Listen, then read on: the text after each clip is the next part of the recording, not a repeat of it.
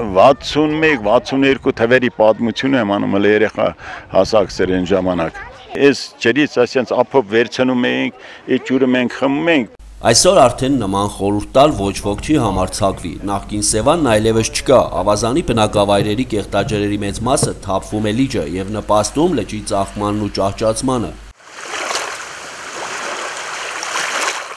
ազոտի, ֆոսֆորի իոնների մեծ քանակությունը նպաստում են, որ այդտեղ սկսեն աճել մեծ քանակությամբ կապտականած ջրի մուրներ։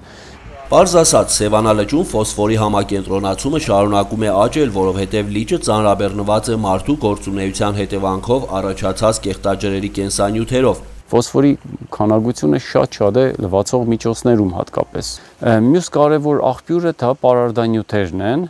որոնք օգտագործում են Գեղարքունիքի մարզի ամայնքներում, գյուղատնտեսական հողերում եւ իհարկե նաեւ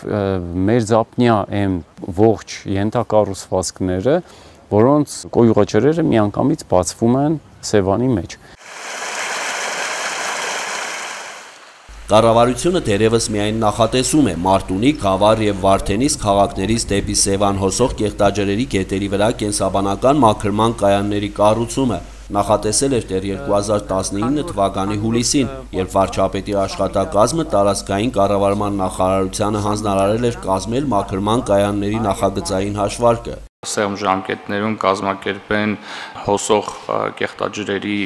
գետերի վրա մաքրման կայաններ օր առաջ տեղադրվեն ամեն դեպքում այդ կեղտաջրերի նվազեցումը եւ ջրի մակարդակի բարձրացումը մեր առաջնային նպատակն է Այսօր էլ նշվում է, որ գոյուղաջրերի կառավարման ուղղությամբ նախատեսվում է իրականացնել Գավառի մեխանիկական մաքրման կայանի վերազինում։ Դեռ նախատեսվում է, իսկ Սևանը շարունակում են աղտոտել, նաև անխնաշահագործել։ Շրջապատը, որտեղ որ բնակչություն կա, գոյուղաջրերը միևնույնն է, լսում է լիճը։ Դրա համար լճի ափից մի 150 մետր պետքա նոր թողեին մարդիկ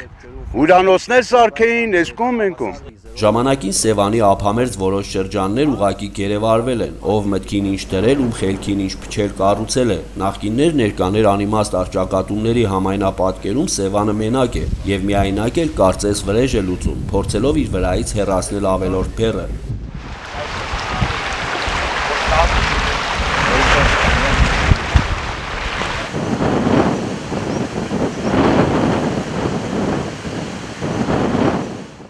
Սարսափելի է վիճակը ափամերձ այն հատվածներում, որտեղ հանգստացողներ կամ ծկնորսներ են հանգրվանում, այնուհետ թողնում ամբողջ աղբը եւ հեռանում։ Ամեն թփի ծառի տակ կարելի է տեսնել մարդու հանցավոր գործունեության արդյունքը՝ տոպրակներ, շշեր, արկղեր։ Բավական է նշել, որ մեկ պլաստիկե շշի կամ բաժակի քայքայման համար անհրաժեշտ է մոտ 450 տարի։ Չթվարկենք, թե ինչքան աղբ կա նաև ջրային ավազանում։ Սևանն ազգային արժեք է, դրա մասին խոսում են բոլորը, սակայն շատերը գործնականում ապացուցում են, որ մեր այդ արժեքները գնահատել ուղակի չգիտեն։ Գալահերուստանկերություն Ռեգիոն 5+-ի համար։